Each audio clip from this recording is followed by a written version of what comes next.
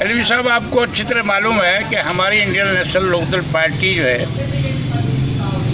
High command Chaudhary Om Prakash Chautala ji के निर्देश पर श्री अभय सिंह जी ने, डॉक्टर अजय सिंह जी ने, अशोक अराडू जी जो हमारे पार्टी के प्रधान है और पार्टी के सभी नेताओं ने, कार्यकर्ता साथियों ने, पूरे प्रदेश के अंदर लगभग डेढ़ दो साल से हमारा ये एजुकेशन चल रहा है।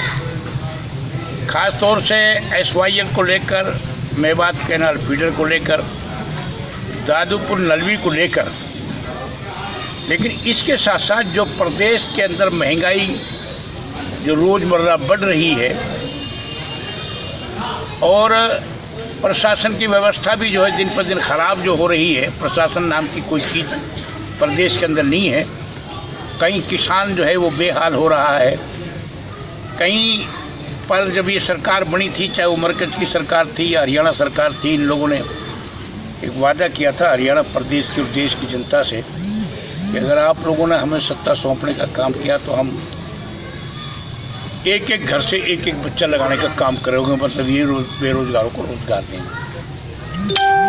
लेकिन अफसोस और दुख की बात यह है, बड़े दुख के साथ कहना पड़ता है अलवी साहब, इन्होंने सरकार बनने के बाद इन्हें अपना कोई पुराना वादा याद नहीं रहा। आपके सामने की बात है जहाँ तक महँगाई की बात है महँगाई दिन पर दिन बढ़ रही है।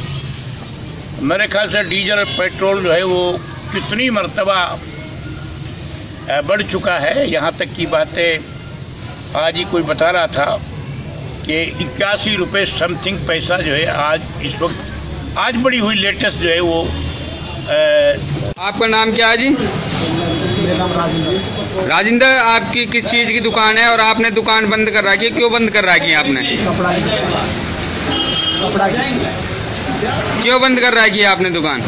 ये बंद कर रखी है जीएसटी के मारे और पेट्रोल की कीमत और डीजल की कीमत बढ़ी हुई है। इसमें महँगाई का कारण ये कितने थे महँगे हुए पड़े हैं और आप क्या परेशानी हो रही है? सब लोग दोनों रेट हो गए।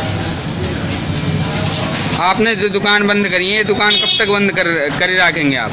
ये शाम तक बंद रहेगी।